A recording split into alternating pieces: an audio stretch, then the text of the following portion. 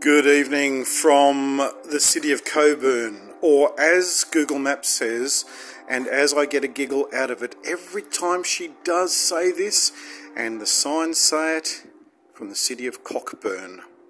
Yes, it's Bill Quinn from the city of penis friction. I, uh, what, what's the time? It's currently uh, 11 minutes past 6 in the west, which means it's 11 minutes past Yes, you are. It's also 11 minutes past 8 in the east of Australia, and you can work out the other time variations and time zones if you want.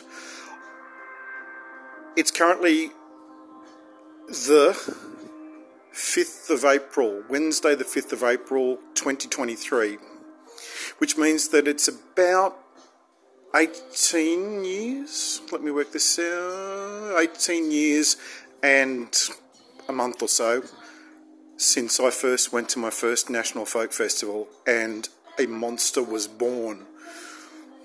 A few months later, I was emceeing my first folk festival gig, and then I joined choirs. No, previous to that, I joined choirs. I went on to radio shortly thereafter. I started writing for the National Folk Music magazine. It just rolled on and on and on and on and on. And some of it was a bit that's what you get. And some of it was volunteering when I probably shouldn't have, and some of it was volunteering when I definitely should have. Where was that one? Is it that one? Yes. Holy smokes, yes. So much yes. But all through it all, through all of it, was driven an enduring passion for independent music, for live original music. And hopefully, some of you who are watching, some of you who are witnessing, witnessing, what the fuck was that?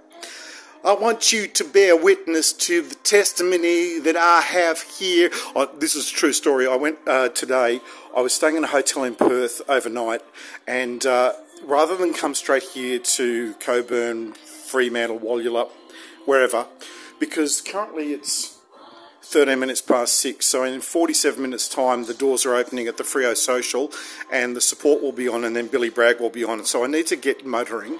I can't be talking for too long. So uh, the smart decision would have been this morning to have a quick breakfast and get myself down here, face plant into this bed have a good, good, long, hard sleep, and then get up and be down in Walyalup, Fremantle, way, way, way before the doors open. I don't particularly do sensible. I don't particularly do. It's three minutes and 15 seconds. Get to the point. So, uh, through all of it, through the last 18 years and say half a month, has been driven an enduring passion for live original music and hopefully some of you watching know, probably because I've told you so many times to the point where you're going, yeah, love the energy bill. Do you want to, uh, what is it? Do you want to take 30% off? can you, can you, can you slip it back into third gear? Can you, okay, this is the music that I've acquired in the last five, maybe six weeks.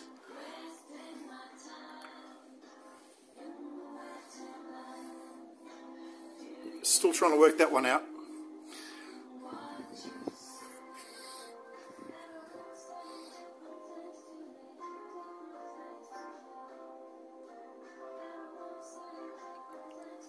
To every single independent musician who I've interviewed, met, been an MC for, interviewed on radio, written about, will continue to write about until they put me in a box and chuck me onto the uh, funeral pyre.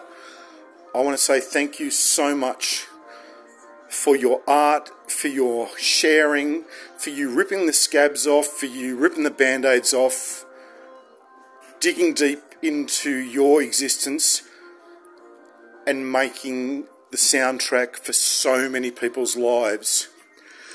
Levon Helm said in the amazing Last Waltz video, uh, video, Last Waltz film that Martin Scorsese made in 1976.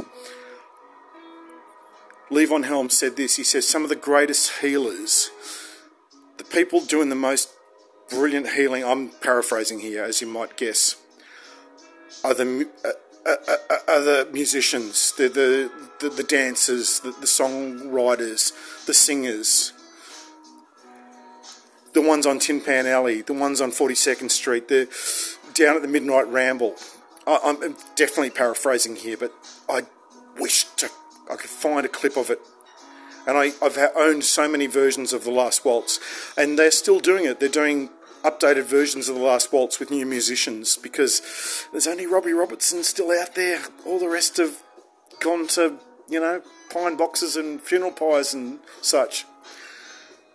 Thank you so much. And finally, because I do need to get to Freo Social and I do want to watch Billy Bragg tonight, hopefully in one piece, and hopefully, unlike so many gigs that I've been to in the last three or four, you know, let's say last two or three months, I haven't actually stayed awake for the whole thing. Shh. Um, finally, to Jenny M. Thomas, to Bush Gothic, I so wanted to be there the other night. And if I had been sit, sat in the front row, this is the tapestry that I would have been doing my subversive, not cross stitch. Well, probably me, knowing me, I would have been crossing some stitches.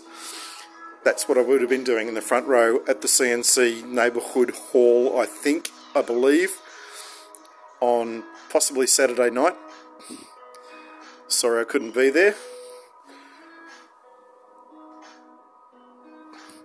And I never did hear you do Maggie May, which just means I need to track you down somewhere in the country in the next little while.